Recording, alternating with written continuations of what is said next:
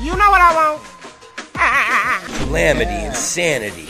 I got the vanity to plant a seed in fertile minds, clear the hurdles in the form of minds. I've been warned by time to go for mine, like go over rhymes till you flow over paradigms and transcend.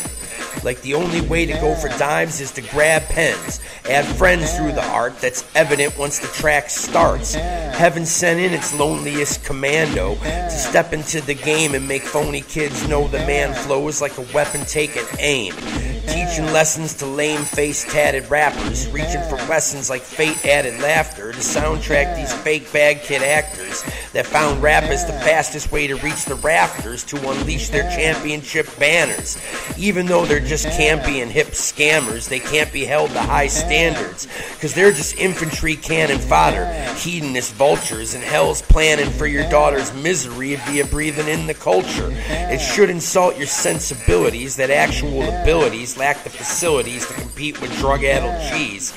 Claiming thugs, please, that'll be the day. Notice I didn't have to say nigga for cred, because I've actually had triggers pressed against my head in my inadvertent quest for lead.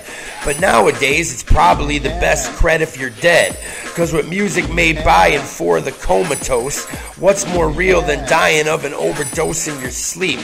Real talk, rest in peace, Lil Peep, because every time I realize I'm ugly, I just tell myself when I You die they'll fucking love me. I want to talk to Samson. Fly me to the moon like that bitch Alice Cram. Cause it's hard being black and gifted. Cause it's hard being black and gifted. Cause it's hard being black and gifted. Cause it's hard being black and gifted.